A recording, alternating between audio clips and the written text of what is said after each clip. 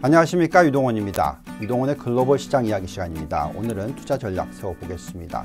네, 시장의 변동성이 크게 일어나고 있습니다.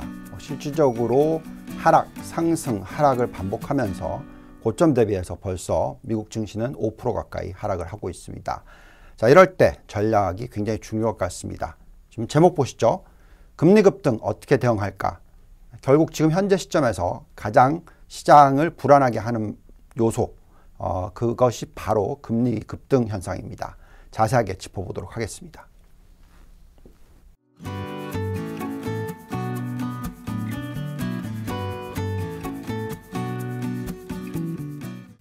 네. 이건 지난 주의 흐름입니다. 지난 주에 시장이 별로 빠지지 않았죠. 어, 월요일 날 하락하고 나서 다 반등을 시켜서 플러스 전환을 하는 듯 해서 아, 이제 시장이 조정이 끝난 게 아닌가라는 의구심이 들기도 했었습니다만 역시나 네, 우리가 계속 걱정해 왔던 9월, 10월 달의 어떤 조정 구간 어, 이 부분이 지금 월, 화, 수를 놓고 봤었을 때 특히 어저께 화요일 날 어, 큰 폭의 하락장이 미국 시장에서 나왔습니다. 어, 이런 부분들이 글로벌 시장에 영향을 지금 미치고 있는 상황입니다. 자, 이렇게 하락을 만들어낸 가장 큰 근본적인 이유는 바로 이거죠. 미국의 10년 국채 금리입니다. 어, 보시면 이때 굉장히 급격하게 상승을 할 때 이때도 또 다들 얘기를 했던 부분이 성장주냐 가치주냐 시장이 하락을 해야 된다 이런 걱정을 하셨고 이때만 하더라도 뭐 3% 금방 갈 것처럼 어, 얘기들 하셨는데 결국 이렇게 하락 조정을 받았습니다. 그러니까 또 다시 이제 테이퍼링 얘기가 나오고 있고 또 어느 시점인가 미 연준이 금리를 올려야 될 거다라는 얘기가 나오다 보니까 또 최근에 급등을 했습니다. 1.5까지 급등입니다. 자, 여기가 1.3이고요. 그죠? 그러면 0.3%포인트 정도 늘어난 거죠. 근데 이것만 가지고 시장이 그렇게 크게 하락을 했을까요? 그건 아니겠죠. 훨씬 더 많이 올라가서 2%에 도달을 할 거다. 뭐 이런 얘기까지도 나왔습니다. 시장에서 어떤 분들이 연말까지 2% 간다. 뭐 이런 얘기까지 하면서 어떤 공포심을 자극을 합니다. 왜냐하면 이때 이렇게 가파르게 올랐던 기간이 상당히 오랫동안 이어졌기 때문에 그렇습니다. 자, 그렇지만 우리가 어떤 식으로 이 현상을 들여다보는지 좀 이따 더 자세히 짚어보도록 하겠습니다. 자, 중요한 것은, 음, 지금 금리가 급등을 한다. 뭐 그 부분에 있어서 앞으로 얼마나 올라갈 거냐 이거를 계산하기는 어려우니까 우선은 얼마나 올라가면 얼마의 영향을 미친가 이것부터 먼저 계산을 해보겠습니다. 자 보시면은 S&P 500에 대해서 금리를 2%를 반영을 해서 계산을 해봤습니다. 어, 지금 현재 1.5% 정도 수준이죠. 그러니까 0.5%포인트 정도를 더 높게 잡아서 계산을 해본 경우입니다. 자, 보면은 5.5% 정도의 상승 여력이 나옵니다. 그런데 이전에는 13%포인트 정도의 상승 여력이었는데 0.5%포인트 정도로 올리게 되면 네, 상승 여력이 떨어지죠. 얼마나? 7.5% 정도 떨어집니다. 7.5%포인트 정도, 그러니까 0.5%포인트 정도가 7.5% 정도 음, 영향을 미칩니다. 나스닥은 보실까요? 지금 21.2%가 나오고 있는데 이 전에는 얼마였냐면 30%였습니다. 그러면 지금 영향을 미치는 게 얼마나 떨어지는 거죠? 8.8% 정도. 그죠? 마이너스 영향을 미치게 됩니다.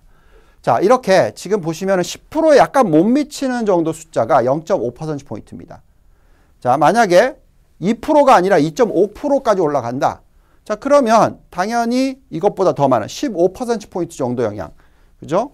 여기는 뭐 거의 한 17% 정도 영향을 미치게 되겠죠. 자, 그런 부분들을 감안했었을 때에 어느 정도의 하락폭이냐, 어느 정도의 하락폭이냐를 계산하는 게 중요하겠죠. 자, 지금 나스닥 같은 경우에는 거의 3% 가까이 하락을 했습니다. 고점 대비해서 마이너스 5% 이상 하락을 했습니다. 자, 그렇다면 추가적으로 계속 하락을 할까요? 음, 굉장히 숫자가 중요한 것입니다. 앞으로 어떤 정도의 금리 가 나올지가 중요한데 어, 결국 펀디멘탈과 연결을 시켜서 봐야 되는데 지금 현재 시점에서는 이미 벌써 상당 부분이 시장에 반영이 됐다라고 판단하고 있습니다. 자, 또 이런 생각을 해보겠습니다. 만약에 우리가 법인세 부분까지 또 포함을 시켜서 걱정을 하면 어느 정도 영향을 미칠까 하는 부분이죠. 자, 13% 아까 말씀드렸던 S&P가 뚝 떨어져서 1.9%로 상승 여력이 떨어집니다. 거의 뭐 12%포인트 정도 떨어지는 거죠. 11% 정도 떨어집니다.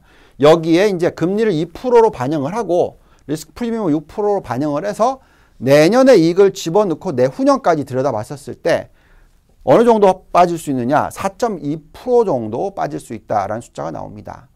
자, 아까 음, 수요일 날 나스닥은 거의 3% 그리고 S&P는 2% 정도 빠졌습니다. 그러면 마이너스 4.2%니까 이제 2% 정도 더 빠지면 거의 많은 부분을 반영을 하겠죠. 물론 또 여기서 금리가 2%가 아니라 2.5%까지 올라간다면 또 거기서 추가적으로 어, 7.5% 정도 더 떨어지게 되겠습니다. 어쨌든 중요한 것은 그런 여러 가지 요소들을 생각을 했었을 때 지금 얼마나 조정을 받을 건가 하는 부분이 중요하겠죠. 네. 지금 현재 시점에서는 계절적인 요소로서 전에도 말씀을 드렸습니다만 어, 8, 9, 10월 달이 별로 좋지 않은 달인데 8월 달이 오히려 하락했다 다시 상승을 시켰어요. 9월 달이 지금 예상보다 더 나쁘게 흘러가고 있고요. 10월 달은 예상보다 좀 더 좋게 흘러갈 수 있는 가능성도 있겠죠. 어쨌든 지금 현재 시점에서 우리가 대응해야 되는 것은 저가 분할 매수 전략이 맞다라고 계속 말씀을 드리고 있습니다. 나스닥은 더 그렇습니다. 상승 여력이 지금 현재 원래 30%가 있었는데 법인세 26.5%로 바꾸면 13%대로 뚝 떨어집니다만 여기에 또 금리를 2% 반영하고 RP 6%로 반영했을 때 플러스 5.7% 정도다. 그럼 여기서 추가로 2.5%까지 올라갔다. 그죠? 여기서 8.8%를 빼야 되겠죠. 그럼 마이너스 3에서 4% 정도 하락을 하면 거의 다 반영이 됐다라고 보죠. 근데 어저께 얼마나 하락을 했습니까? 거의 2.8%, 3% 하락을 했습니다. 자, 그러면 이런 가격대라면 당연히 막 다 매수를 해야 된다 이런 얘기가 아니고요. 앞으로 10월 말까지를 생각했었을 때 지금부터 약 한 달 정도의 기간이 남았다라고 생각하시고 이 구간 동안에 뭐 빠지는 날, 어제같이 빠지는 날 우리가 지금 운영하고 있는 랩 상품에 오늘 10시 이전까지 뭐 추가로 10분의 1씩 더 한다든지 이런 식으로 해서 미국에 대한 투자 비중을 우리가 계속 얘기하고 있는 60% 정도를 채워야 된다라는 얘기를 해드리고 있습니다. 자, 또 걱정스러운 부분은 달러 지수인데요.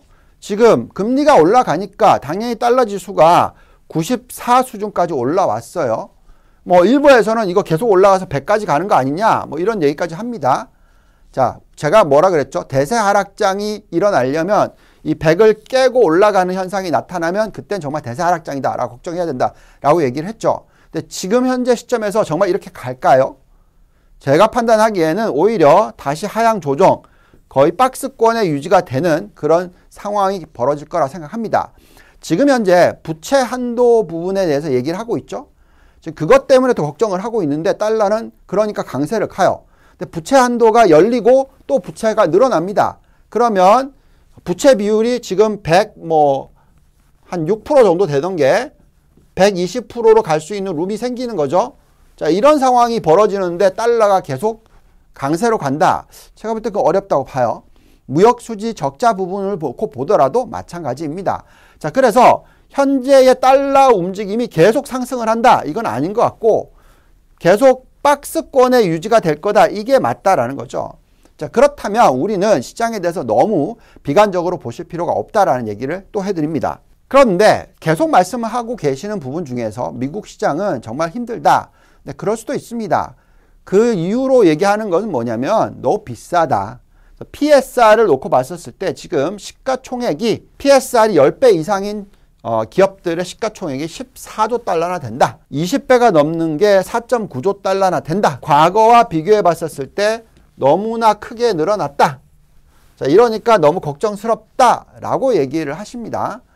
근데 이제 중요한 것은 이때와 이때와의 어떤 변화들을 생각을 했었을 때 어느 정도의 금리 수준이고 어느 정도까지 금리가 올라가면 고점이 될 것인가 하는 부분을 꼭 생각하셔야 됩니다. 그리고 계속해서 앞으로 실적과 연결이 되는 부분이 되는 거죠. 영업 마진율이 높다라는 것은 PSR 중에서 이익으로선 떨어지는 쪽이 훨씬 커졌다라는 것도 있습니다. 그래서 여러 가지 요소를 보면서 펀디멘탈을 보면서 판단을 우리는 하면 되겠습니다. 자, 그 다음에 계절적인 요소 부분에 있어서 계속 말씀을 드렸어요. 우리가 계절적인 요소로서 뭐라고 그랬죠? 어, 이 대통령 당선되고 3년 차가 가장 좋은 해. 그리고 4년 차가 그 다음으로 더 좋은 해. 그리고 그, 나, 그 해에 이제 일렉션이 있죠. 그 다음에 다음 대통령이 들어서서 첫 번째 해 3.5% 지금 현재 시점입니다. 그리고 나서 언제죠? 예, 이때가 제일 안 좋아요. 내년이 제일 안 좋습니다. 자, 그러다 보니까 이런 부분을 생각한다 보면 우리가 지금 어디에 있느냐? 여기에 있어요. 그리고 나서 연말에 상승을 하고 내년 초까지 상승하겠죠? 또 조정. 그리고 또 마지막 연말에 상승. 이런 수준으로 나오고 있습니다. 자, 보면 좀 더 짧게 보면은 대충 보면 첫 해가 5%대, 둘째 해가 4.5%대. 그러니까 가장 수익률이 낮은 때입니다. 여기도 마찬가지죠. 4, 4분기부터 그 다음에 1, 4분기 말, 2, 4분기 초까지 상승. 그리고 3, 4분기 말까지의 하락. 그리고 나서 급등입니다. 자, 이런 모습이 나올 수도 있는 거죠. 물론 이거는 과거 통계를 가지고 얘기하는 겁니다. 그래서 여러 가지 요소들이 지금 맞물리면서 어, 지금 만약에 경기가 막 침체로 간다 이런 걱정을 하시면 지금 시장을 다 대세 하락장 시작이다. 다 팔아야 된다. 이런 얘기가 말이 되지만 지금은 경기가 좋아지고 있는 상황에서 원자재 가격이나 이런 부분들이 올라가면서 인플레이션 자극하니까 이 걱정을 하는 거죠. 그렇다라는 것은 계속해서 이런 차트가 이어질 수 있다라는 걸 생각하셔야 됩니다. 자, 그러면 또 우리가 지금 봤었을 때 시장이 어느 정도로 어, 매력이 있는지를 봤었을 때 high yield 채권 금리가 지금 4%대입니다. 미국이. 그래서 그 high yield와 지금 현재 주식의 earnings yield를 계산했었을 때 지금 현재 어느 시점에 와 있느냐 여기에 와 있다는 거죠. 왜냐하면 high yield의 채권 금리가 너무 많이 떨어졌어요. 그러니까 이게 너무 고평가라는 거죠. 반대로 주식은 저평가라는 겁니다. 그래서 상대적인 평가를 판단했었을 때 또다시 주식에 대한 관심이 늘어나는 시기가 조만간 올 거라는 겁니다. 자, 또한 항상 우리가 얘기하는 게 있죠. 이익입니다. 이익. 자, 우리가 코로나19가 터지기 전에 굉장히 걱정 많이 했죠. 코로나19 터지기 전에 인플레이션, 금리 올라가는 현상, 그죠? 완전 고용, 여러 가지 부분을 가지고 인플레이션에 대한 걱정을 했었어요. 자, 근데 중요한 건 그때 대비해서 2021년에 이익이 얼마나 늘었느냐. 이거는 그 전에 2019년입니다. 2020년 안 좋았던 때 말고요. 어쨌든 그때 대비해서 얼마나 늘었느냐.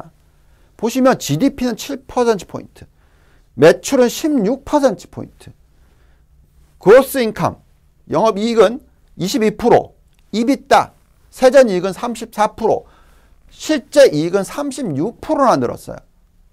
코로나 이전과 비교했었을 때입니다. 자, 결국 펀디멘탈이 정말로 좋기 때문에 지금 현재 상황에서 주가가 폭락을 시작했다라고 얘기하기에는 무리가 있다는 말씀을 또 드립니다. 자, 그러면 결국 우리는 이제 미국의 10년 국채 금리를 보면서 얘기를 해야 되겠는데요. 자, 많은 분들이 이렇게 빠르게 올라오다 보니까 금방 2% 뚫고 올라간다. 2.5% 간다. 3% 간다. 뭐 이런 얘기들이 자꾸 나오기 때문에 시장이 불안해 하는 겁니다. 왜? 금리가 높으면 높을수록 아까 말씀드렸듯이 0.5%포인트가 7.5%포인트 정도의 상승률을 떨어뜨린다는 거죠. 그렇지만 중요한 것은 이 기울기가 이렇게 가파르지 않고 이렇게 또는 이렇게 평평해지는 상승 추세가 된다. 왜? 4차 산업혁명 때문에 그렇다라고 생각한다면 우리는 지금 너무나 많은 하락을 이미 시장에 반영을 한 거 아닌가라고 생각하게 되는 것이죠. 자, 그래서 2023년까지 우리가 계산을 해 봤습니다. 어, 만약에 계속해서 금리가 2% 정도 수준에 있고요. 미 연준이 금리를 빠르게 올리지 않고 어느 정도 안정적인 수준으로서 2023년 하반기까지 놔둔다면 그때의 상승 여력은 S&P 500은 자그마치 23% 정도 되고요. 나스닥은 자그마치 30%의 상승 여력이 나온다라는 것입니다. 아까도 말씀드렸습니다만 지금 현재 시점에서 여러 가지 악재 조건을 이 사라졌다고 치면 이 정도의 매력도가 있기 때문에 만약에 이 숫자가 안 나오고 있고 거품이 정말 많이 만들어졌다. 그러면 제가 먼저 나서서 대폭락장이 시작됐다라고 말씀을 드리겠으나 지금 현재 시점에서 금리가 그렇게 빠르게 오를지 그리고 지금 현재의 실적이 상당히 좋은 상황에서 3분기에 실적이 발표가 되는 그런 현 시점. 그렇게 봤었을 때 시장이 오히려 11월 달, 12월 달에 상승을 하는 모습을 보여줄 확률이 더 높다라고 말씀을 드립니다. 자, 그리고 또 여러 가지 다른 지표를 놓고 봤었을 때 지금 공포와 탐욕 지수가 28 수준이에요. 이거 공포 수준이잖아요. 그래서 우리가 20 근처에서는 매수 전략이고 80 근처에서는 매도 전략이잖아요. 그죠? 그러니까 지금 현재 시점에서는 크게 걱정스럽지 않다라는 겁니다. 또한 빅스가 이렇게까지 많이 치솟았어요. 그죠? 우리가 뭐라고 얘기하고 있죠? 12 정도 이하로 떨어져야지 그때쯤 되면 어떤 대세 하락장을 얘기를 해보자 라고 생각하는데 지금 현재 시점에서는 계속 높은 수준에서 20을 아래 위로 두고 계속 변동성이 지금 일어나고 있습니다. 자, 그렇기 때문에 지금 현재 시점에서는 아직까지는 시장에 대한 어떤 매력도에 대해서 너무 비관적으로 보실 필요가 없다라고 말씀을 드립니다. 자, 근데 왜 그렇게까지 지금 다들 걱정을 하고 있을까요? 결국 인플레이션에 대한 리스크 때문에 그렇습니다. 자, 어떤 부분들이 인플레이션을 자극하고 있습니까? 자, BDI 지수 4,717. 유가 74달러, 75달러, 76달러 막 이런 식으로 왔다 갔다 합니다. 천연가스 5.84 네, 거의 6 넘어간 것도 봤었습니다. 그죠? 자, 석탄 가격 210. 자, 게다가 중고차 이렇게 급등을 하고 나서 폭락을 했는데 다시 또 올라요. 그러니까 이런 걸 보고 있으면 아, 이거 인플레이션이 상당히 오래 가겠구나 하는 거죠. 예, 근데 이 부분들을 잘 생각해 보시면 아까 석탄 가격, 천연가스, 중고차 다 이게 어떤 현상인가요? 우리가 지금 어떤 구조의 변화가 생기고 있어요. 자, 우선 에너지 쪽으로 보면 탄소 배출, 그죠? 그걸 0으로 만들기 위해서 어떻게 가고 있습니까? 신재생 에너지를 계속 투자를 하고 이쪽에서 에너지를 창출해 내는데 이쪽이 뭐 바람이 덜 불었다. 뭐 여러 가지 이슈로서 생산이 제대로 안 되면 더 투자를 해서 또 늘릴 수 있도록 만들어야 되는데 그게 천천히 되는 거죠. 자, 그러면 이쪽 부분에 있어서 반대쪽, 그죠? legacy 산업인데 앞으로 사라질 산업이거나 점차적으로 사이즈가 줄어들 산업이지만 단가가 올라가는 거죠. 그죠? 그런 현상이 지금 일어나고 있고 마찬가지로 전기차도 마찬가지입니다. 개솔린 차량에서 전기차로 넘어가는데 전기차로 넘어가는 속도가 더딜 수밖에 없죠. 구리 캐내야 되고 알루미늄 넣어야 되고 예, 배터리 만들어야 되고 그죠? 공장 지어야 되고 테슬라가 빠르게 지금 늘리고 있으나 부족하죠. 또 다른 개솔린 차량들을 짓고 있는 회사들이 이렇게 빨리 넘어가려고 하지 않는 거죠. 왜냐하면 이것들은 점점 줄어야 되니까. 좀 더 돈을 벌고 싶으니까. 가격을 올리는 그런 상황이 되는 거죠. 왜? 수요는 실질적으로 자동차에 대한 수요는 상존하기 때문에 그런 거죠. 그래서 자 지금 현재 시점에서 잘 생각해 봐야 되는 것은 언젠가는 넘어가는 거죠. 얼마나 빨리 오느냐의 문제인 거죠. 그렇다라는 것은 지금 유가나 뭐 이런 부분들이 인플레이션을 자극하고 있는 것은 앞으로 떨어질 가격들인 거죠. 언젠가는. 이쪽으로 넘어가면 넘어갈수록 인플레이션은 떨어질 수밖에 없습니다만 지금은 근데 걱정을 합니다.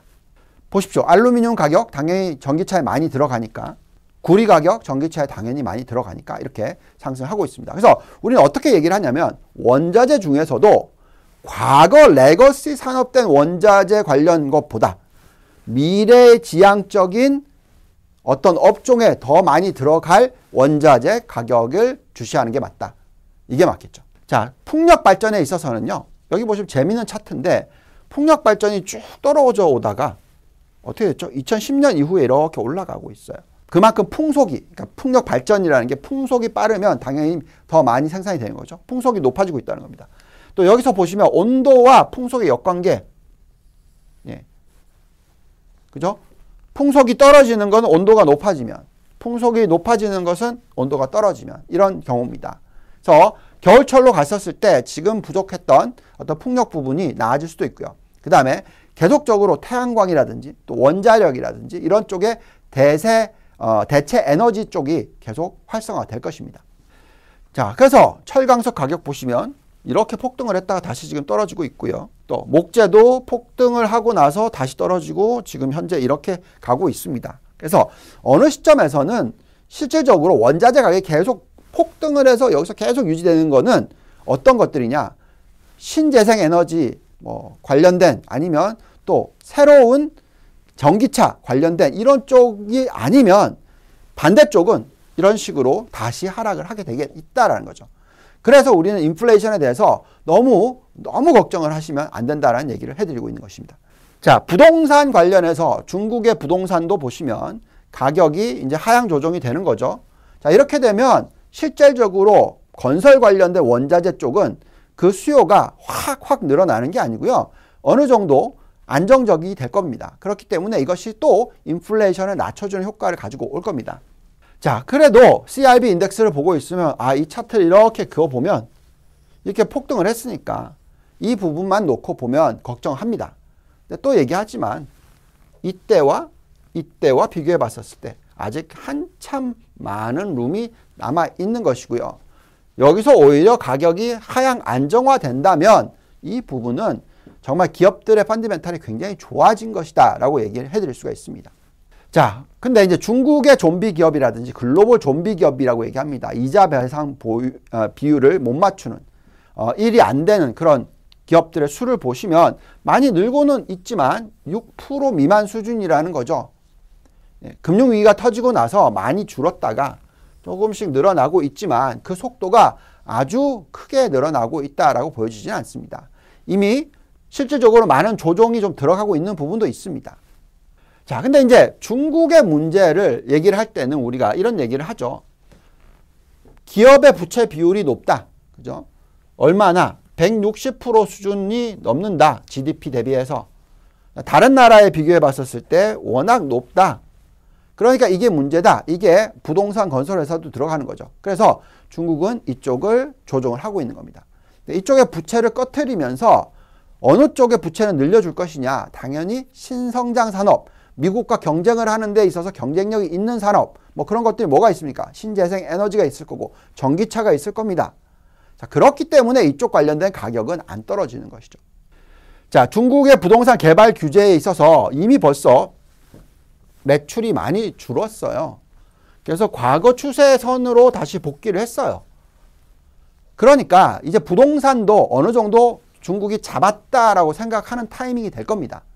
자, 그래서 중국에서 지금 계속 여태까지 써왔던 건 뭐냐면 이 세 개의 red line policy라고 해서 부동산 개발 회사들한테 있어서는 음, 부채가 에셋에 차지하는 비중 70% 이하 그 다음에 총 부채 비율, net 부채 비율, 순 부채 비율이 100% 이하 그 다음에 cash to short-term debt 단기 부채와 현금의 비율을 1배 딱 1배 정도 되는 것을 지켜야 된다.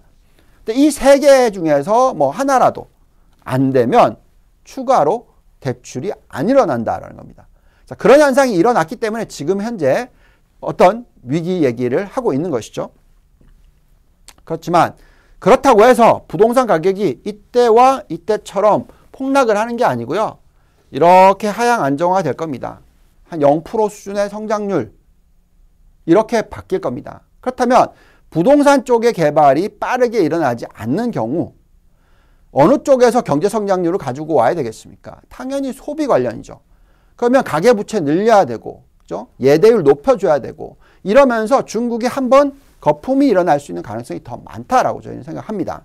또 특히 부동산 가격이 하락할 때 중국의 주식은 좋다 오히려 그럴 때가 있습니다. 왜냐하면 그만큼 여유로운 유동성이 부동산으로 빨려 들어가는 것이 아니라 어느 쪽으로 실물 경제, 특히 주식시장으로 흘러갈 수 있는 가능성이 높기 때문에 그렇습니다.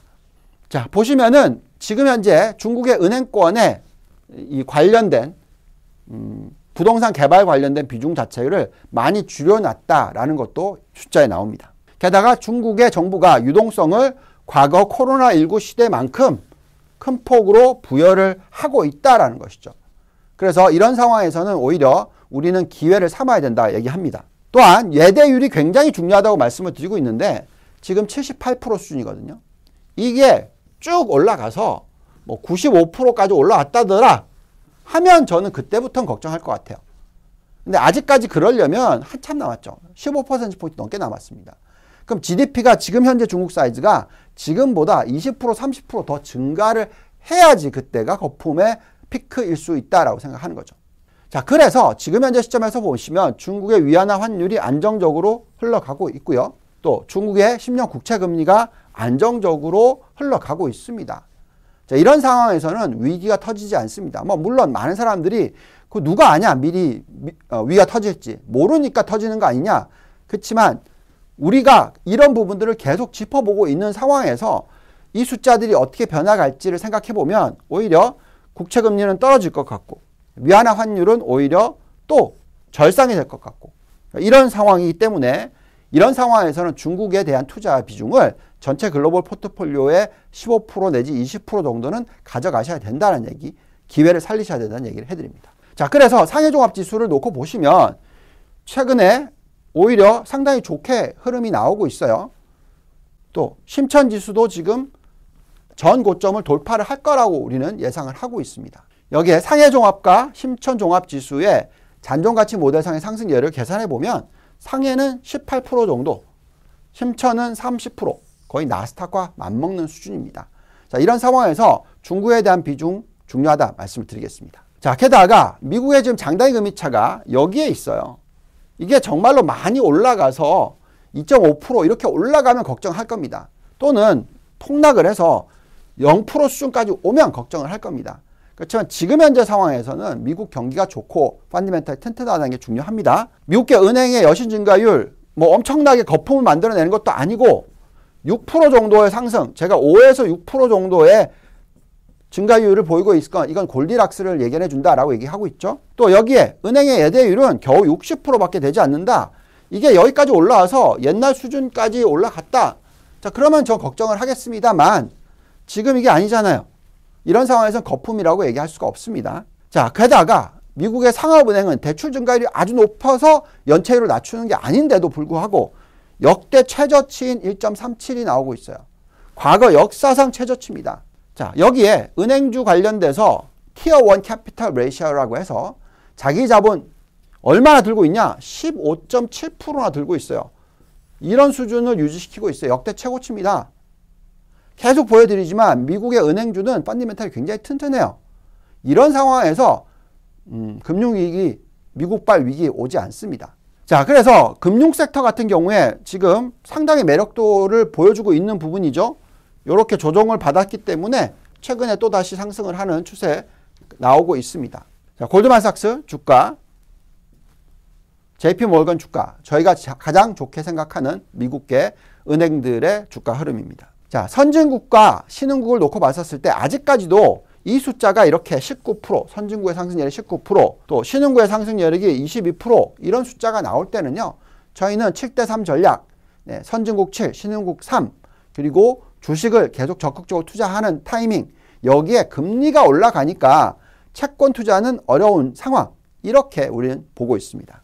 ETF 관련해서도 어저께 반도체가 굉장히 큰 폭의 조정을 받았는데 그래도 우리가 들여다보는 숫자로 놓고 보면 가장 매력도가 높은 것이 반도체다라고 또 다시 말씀을 드립니다.